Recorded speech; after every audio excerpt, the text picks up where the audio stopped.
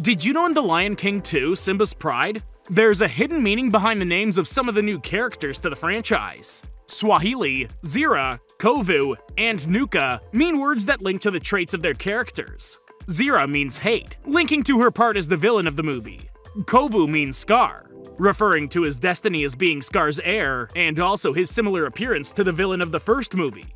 Nuka means bad smell, being a nod to how the character is seen as unwanted and annoying until his death later in the movie. Subscribe for more videos!